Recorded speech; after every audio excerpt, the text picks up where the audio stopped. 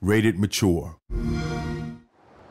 We were just a ragtag group of ex military Americans who wanted to fly combat and get paid doing it. Looking back, we really had no idea what we were getting ourselves into. Bomber formation spotted, straight down. Let's give them a warm welcome. Roger that. Remember what the old man taught you. Dive, use your speed, engage, break away, and keep your distance. Just a few months before the U.S. was drawn into World War II by the infamous attack on Pearl Harbor, President Roosevelt issued a secret executive order authorizing a select group of U.S. military pilots to resign.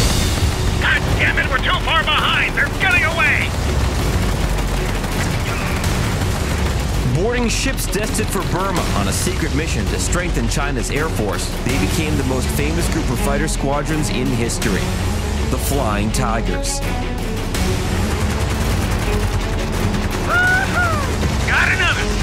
Despite being outnumbered by Japanese fighters in nearly all their engagements, the Tigers were highly successful. Their kill ratio was superior to every Allied air group in Malaya, the Philippines, and the Pacific.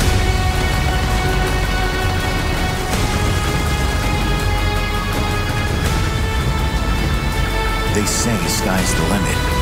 With the odds stacked against us, we discovered that isn't really true.